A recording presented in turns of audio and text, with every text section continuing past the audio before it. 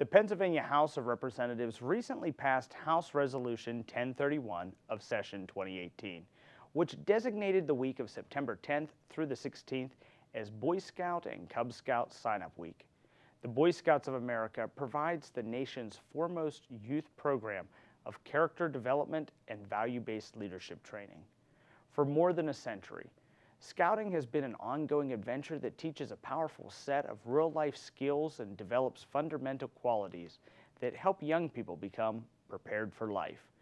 The BSA is organized by approximately 1.3 million Cub Scouts, 7 to 10 years of age, and approximately 885,000 Boy Scouts, 11 to 17 years of age. The organization also has venturing and exploring programs which provide individuals under 21 with adventure and career experiences to further shape them into responsible and caring adults. Annually, Eagle Scout projects provide more than $183 million in service to communities across our nation.